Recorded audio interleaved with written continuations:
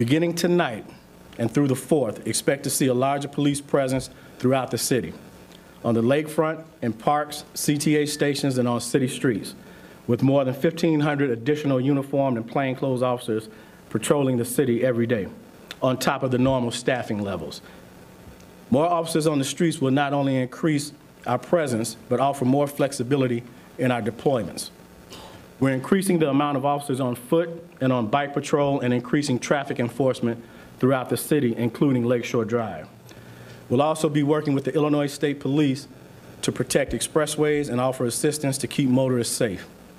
Now, where there are no credible threats to Chicago at this time, we'll also have an elevated presence at, Navy, at the Navy Pier fireworks and other large-scale public events throughout the city.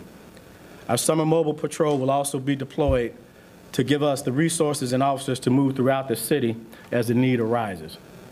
Mobile command centers will be placed in strategic locations throughout the city to allow us to make split-second changes to our deployments if necessary. Additionally, CPD command staff, myself included, will be out across the city to ensure that our officers are prepared and that our strategies are working.